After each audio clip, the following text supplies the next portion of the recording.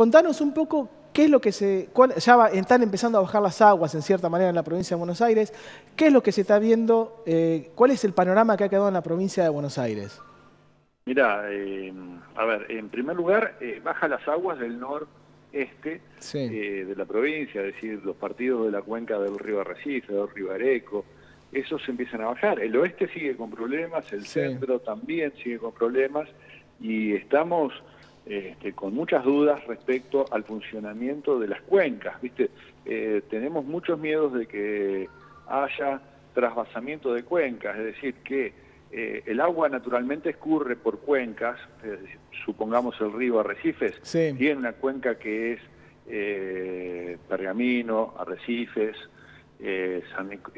Rojas, Salto, y desemboca en el en Varadero, digamos. Esa es la salida eh, del río Arrecifes. Ahora, ¿cuál es el problema eh, cuando del, al río Arrecifes viene agua de otros lugares? Eh, que es lo que estamos temiendo que esté sucediendo con algunas bajadas de agua de Santa Fe. Este, empieza a haber más agua de la que de la que resiste la cuenca llega las napas, las napas se aumentan. Y hoy, por ejemplo, en nuestra zona el agua se ha retirado, pero hay campos en los cuales no puedes entrar a cosechar porque tenés la napa casi a borde de... ¿Cuál es la situación ahí por Pergamino, Arrecife, Salto? Mira, acá hubo tres eh, grandes crecidas de agua, este, dos permitieron recomponer un poco la campaña porque fueron en enero, en diciembre y en enero, esas permitieron cierta resiembra, es decir, se volvió a sembrar soja o se sembró maíz de segunda, pero ya la última que sucedió no hubo posibilidad de recuperarse. Esas afectaciones han dejado como saldo este, algunos bajos de rinde en algunas regiones, en otros directamente no se puede entrar al campo o se entra rompiendo todo este, los caminos y el campo, no hay eh, donde hay camino de tierra está complejo de ingresar. Y como te decía, las napas altas en algunos lugares, este, cuando vos te metes con la cosechadora, que es una cosa pesada, eh, se encajan y no se puede avanzar. Sí, según la Bolsa de Comercio de Rosario está viendo caídas de hasta 10 quintales en los promedios de rindes en soja.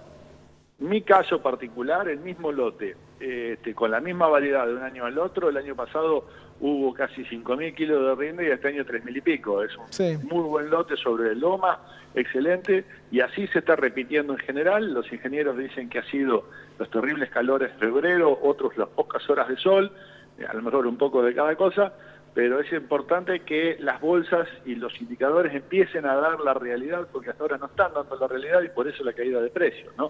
Y creemos que no se va a llegar a la expectativa de cosecha que iba a haber de soja, y bueno, eso Sí, se hablaba de unos, unos 57 millones de toneladas aproximadamente, 56,5 más o menos. Eso me parece que está muy elevado, probablemente superemos las 50 millones de toneladas, pero me parece que no vamos a llegar a semejante nivel de casi 56. No, lo que pasa, bueno, Jorge, hay que verlo esto en el contexto de un gobierno que busca eh, dar noticias sobre los brotes verdes y la cosecha de granos es uno de esos brotes, justamente.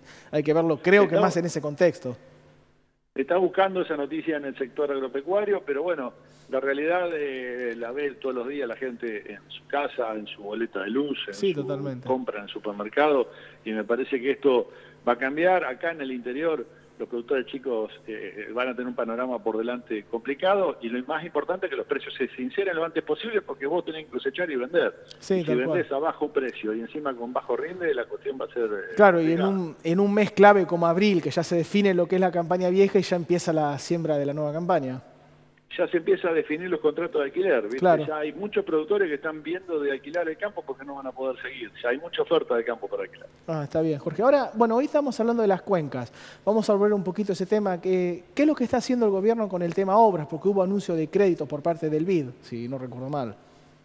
Hasta ahora no vemos grandes encares de obra. Digamos, a Silvosa, que es el secretario de Hidráulica, prometió, por ejemplo, el 29 de abril, cuando ya está finalizada la campaña, eh, limpiar la cuenca del río Arrecife. El río Arrecife es una cuenca que está eh, abandonada desde hace pilas de años, digamos, no es responsabilidad de este gobierno, pero ya han pasado mucho tiempo. Pedíamos que la liberaran, la limpiaran antes de la cosecha, bueno, no se logró.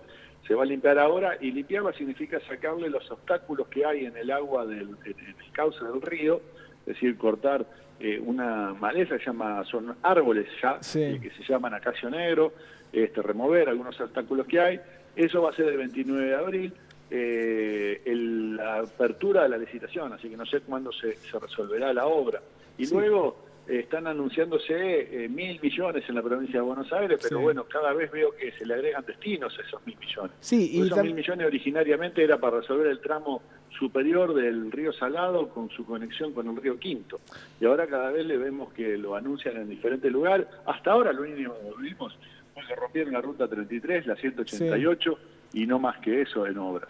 Y Jorge, por último, bueno, esto es por un lado lo que es el monto para obras hidráulicas o viales. ¿Y cómo estás viendo el tema de la ayuda que está destinando el gobierno de la provincia de Buenos Aires para los productores? El tema de créditos, ¿tiene algún, ¿está ayudando realmente a los productores? ¿Está llegando sobre todo a los productores esto?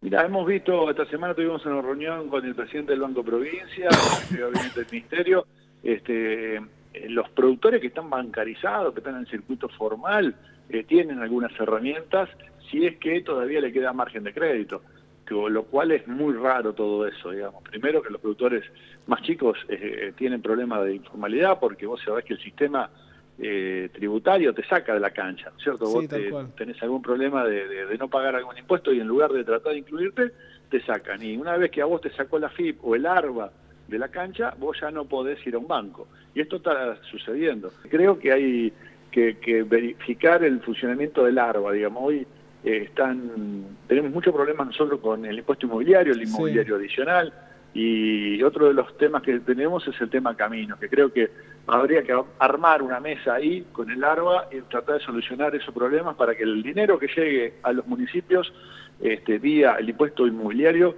se digamos se, se, vaya donde tiene que ir,